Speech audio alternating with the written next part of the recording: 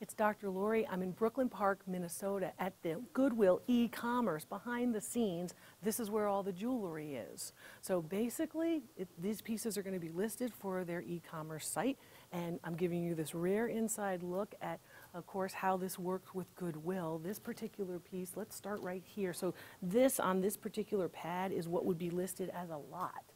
So they've got, again, this nice amethyst colored stones, necklace, this one beautiful, and then you've got this piece, which is another long amethyst um, necklace with, again, the crystals here.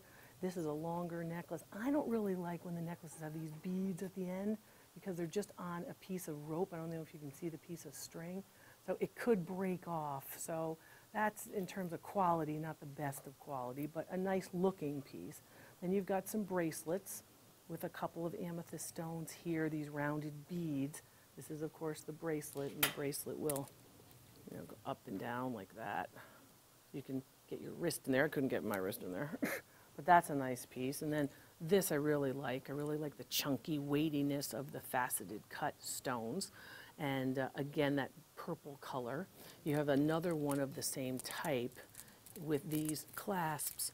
Um, this one, of course, with the seafoam green color stones, but with the clasp that comes off, and then you just hook it right back in, and then it pushes inside, goes inside of the actual piece and stays together that way. That's a nice piece too. Um, we've got a lot of some bracelets and some necklaces. The necklaces down here. You've got those stretch bracelets. And notice the color scheme. And here's another bracelet. They're all stretch bracelets. But notice the color scheme for the lot because this is going to attract people who are trying to bid on the auction, um, or if they're doing a buy it now. But basically, you know, the purple and the, and the green are analogous colors, so they attract, again, people to the particular listing. So this is how they're doing the listings here. These are multicolored stones, so you've got some tiger's eye, and you've got some chalcedony, and you've got some quartz, and some agate. So that's really, that's a nice grouping. And the whole grouping together if you added them all up, you're probably looking somewhere between 175 and 200 for all of the pieces here. Resellers might, you know, sell one piece like that for 40 bucks. So that's what a lot of people do, or they're collecting it for their own collections. But so that would be sold in one lot. Um, then you come to this next group, and this next group has a theme. So the theme for this one, the way they decided to do this one was all crosses. So you had different types of crosses, three types of crosses, but they kept the set here together. So they didn't separate it out and just give you three necklaces of crosses. They made sure that the angel's wings cross, the pendant, the necklace, and of course the earrings are all together. These are crystals, they're not diamonds. Um, they've been tested, and basically the crystal pieces here, this whole set probably has a market value of about $65. And then you have this one, and again, none of them are, are in sterling silver, none of them are marked, they're all costume jewelry pieces, and both of these are plated, only this particular cross has crystals on it. Um, all of these look like they're 16 inch, diminutive, small scale, um, small scale necklaces. I'm just going to double check and make sure that this isn't sterling silver. And, oh, this was this is sterling silver, so this was missed because this particular piece actually has a 925 mark on it. It's a mark on the clasp, so I always tell you to look for the mark on the clasp. Um, this particular piece has the mark right on the clasp that says 925. I don't know if we'll be able to get it, but at that side of the clasp, right there, it says 925. Um, the chain is sterling silver, yet the pendant is not. So that's another thing that you want to be aware of when you're looking at these pieces. And sometimes the photography will show you that. Sometimes the photograph will actually show you that. So in this case, it was marked 925, but the pendant is not. So you've got some fine jewelry with some costume jewelry in that lot. So we found something a little bit unexpected there. Then you've got um, this whole area. So, you know, the whole piece, if, if this is going to come in at 75, these are probably now, this one is more like 60 for this chain, but the rest probably about, I would say, in that 150 range for all of it. So ni a nice group, a nice group as well. But you want to get your loupe and you want to be checking because, you know, you might be finding that diamond in the rough here. I always tell you, the real bargains, uh, if you have the right tools, the treasure hunting tools, you're going to find it.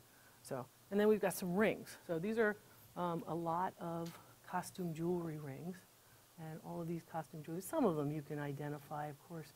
You know, a lot of sparkle here, but obviously that's um, again uh, faceted cut crystal. And then this one has a little bit of weight to it, and again a lot of sparkle on that one. But none of these are actual diamonds, and they've been tested. This is a nice ring, and the thing about this ring is it's obviously copper. See how coppery color that is? You know, so it's trying to look like rose gold, but really it is copper. This one is also costume jewelry. So you're probably at 25, 25, 25, 25 for those pieces. This ring I liked. Um, I liked the fact that it's quite small. I like the fact that it probably is um, like mother's rings, but this one is sort of more of a range of color of all the greens. Um, I thought that was a really nice looking setting. And you can see how it's open work on this side. I'm going to look in it and see if I, what I can find, if anything. And yeah, that's just brass. That's just brass been overlaid. And then these stones are in fact similar to, uh, they're, they're a little bit glossy. These stones re- are reminiscent of emeralds, but are not, in fact, gemstones. Um, these particular stones are not um, fine jewelry stones. This is a nice looking piece, but again, glass, trying to look like something else. And again, 25 or so for each one of these. This stone is fun. This is fun, but this, you know, you can find these in like, you know, the Walmarts of the world. Uh, a stone like this, trying to be a pink diamond. That was very popular in the early 2000s when Jennifer Lopez had her pink diamond. That was a big deal. So a lot of these fake rings were pink diamonds at that time. When she was, I think she was engaged to Ben Affleck. I think now she's married to Ben Affleck. Is that right? I got to get all this right. But but she was the one who introduced the pink diamond. It was like this big deal about colored stones. And then um, another one like this. This one sort of has more of a masculine look to it. But these are usually mass produced in Asia, and you'll see these. So these are like the $10, $25 range stones here. Um, this ring looks a little bit better. It almost looks a little bit more like an actual man's ring. Um, but this particular ring is again costume as well. You can see the, um, the hematite pieces, and this is just black glass. And then these, this is, this is really a cocktail ring. this is like, you know, you went on a cruise with Marilyn Monroe, you know, and then, I don't know, Frank Sinatra. But that's a big, a big ring. That ring, I would say, could probably command about 30 bucks. That's a lot of fun. That's a fun ring right there. So that would be sold as a lot. So these would be sold as a lot. Um, this one, I always think when they do things like this, it's better because people could be fooled into believing that these are baguettes. They're very good Austrian crystals, they're sparkling, it's a nice setting, and it would look like, again, a ring. I don't have a good contrast because I have this glove on, but it would look like a, an eternity band ring the way it's set with all the prongs. The prongs are a good point. When you see a prong set ring, you can see a good idea of how nice these particular pieces look. Like, to me, I, I think these two together look pretty good. Um, I think this one's kind of nice, sort of in, in the manner of pieces you might find at Brighton's. And uh, I do like this ring. I think that ring is really nice, especially the diminutive quality of it. A marquee cut stone, these are called marquee cuts. That marquee cut stone was very popular in the 1950s and 60s. Um, so those particular rings really look a little bit better quality. If you'll notice, they're missing a prong on this one. You see there should be a prong right there and it's gone. So some of these you really have to look at closely um, because the missing prong is going to make that um, lower quality and it's going to make that um, a greater possibility that the stone will get lost. It'll pop out and get lost.